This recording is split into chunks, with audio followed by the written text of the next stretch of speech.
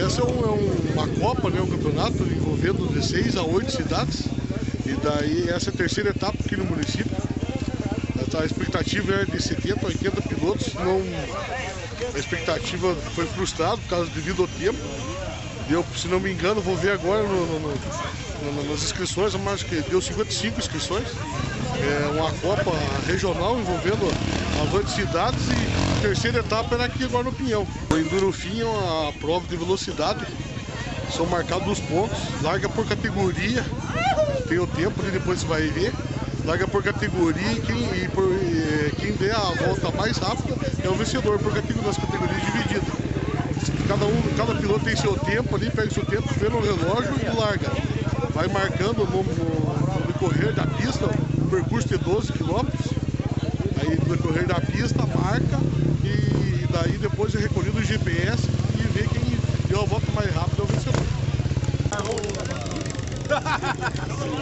Eu vou a primeira volta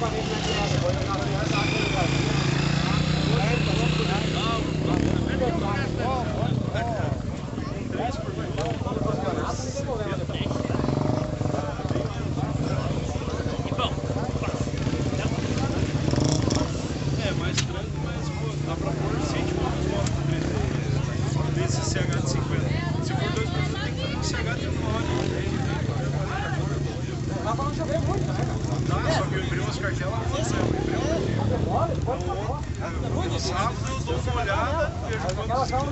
Já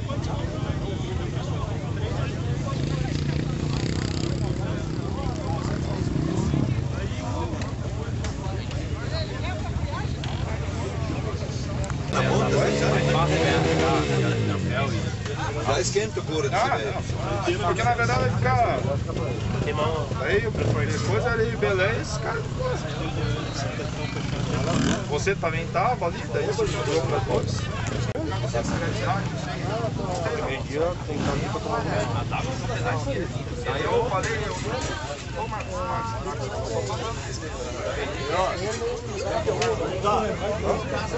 Vem mais